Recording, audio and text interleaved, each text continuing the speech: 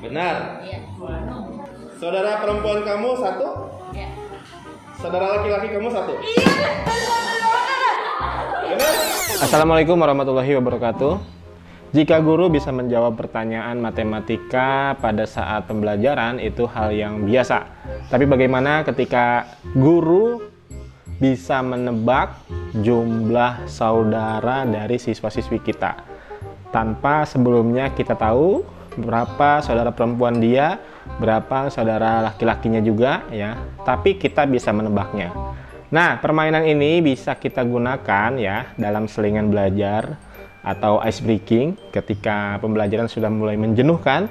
Kita bawakan ice breaking ini saya yakin anak-anak pasti akan antusias dan terkagum-kagum bahwa gurunya bisa menebak jumlah saudara yang ia miliki ya. Bagaimana cara bermainnya dan bagaimana cara e, mengerjakannya dan kuncinya seperti apa nanti saya akan beritahu ya di akhir video ini.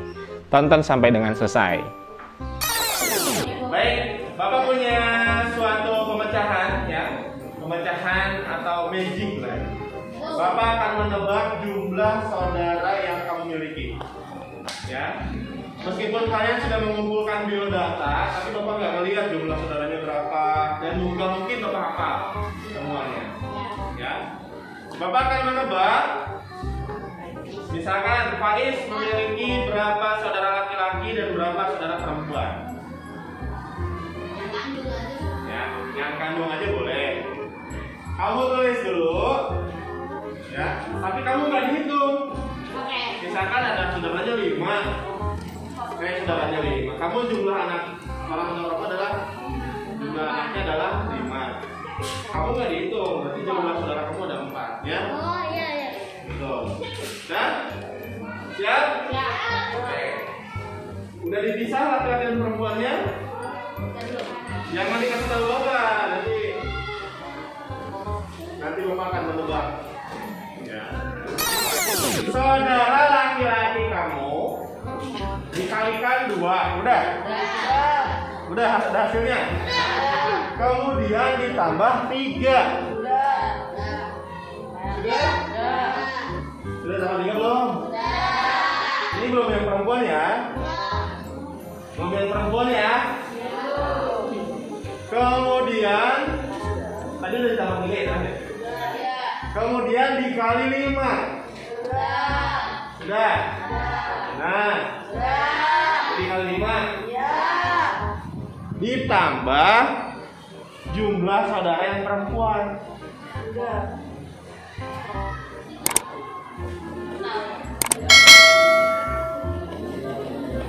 Yang pasti jawabannya semuanya dua dua. Oke? Sudah? Sudah dijumlahkan? Kalau sudah dijumlahkan, ingat-ingat jumlahnya aja. Ingat-ingat hasilnya aja. Bapak akan menebak berapa yang saudara kamu yang laki-laki, berapa saudara kamu yang perempuan. Betul, Bapak oke. Bapak tanya Aiman dulu. Jumlahnya berapa? Benar. Iya.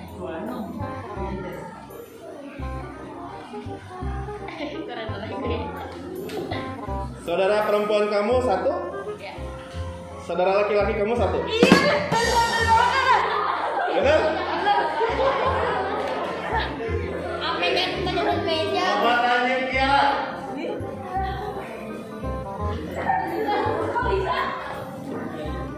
Berapa jumlahnya? Enggak, aku tahu dua enam. Sama dong. Dua nama sama, satu laki-laki satu perempuan. Iya. Iya betul. Mana? Dari.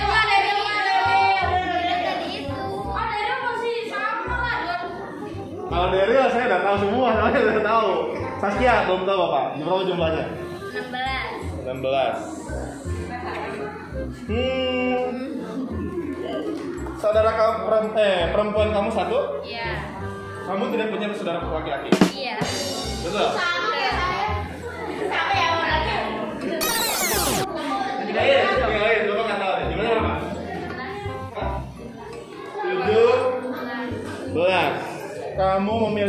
saudara perempuan dua orang, kamu tidak memiliki saudara laki-laki. Betul. Bilang gitu ya. Arya, berapa jumlahnya? 18 Pak. Hah? 18 16 18 18 Ya, ini mah kamu tidak punya saudara laki-laki, ya saudara perempuan kamu tiga orang. iya benar Hah? Pak Ih, gimana sih, Pak? Lihat, Pak. Iya dong, Pak. Lihat. Lihat dong. Oh ini kan rumus bapak nggak boleh ngeliat ya. Wah, cahaya.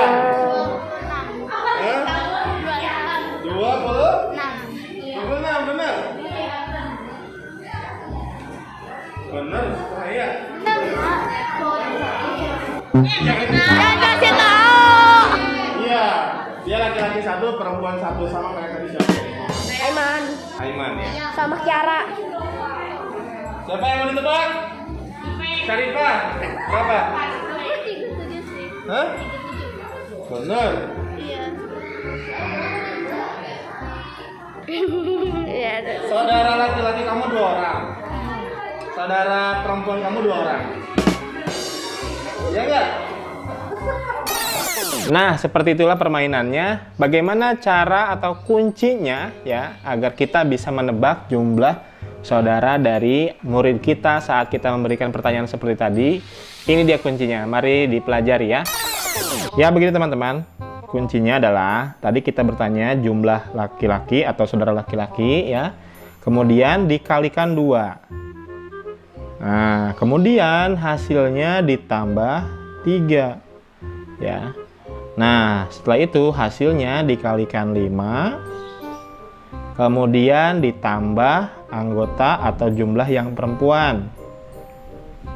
Hasilnya, hasilnya ya. Hasilnya dikurangi 15.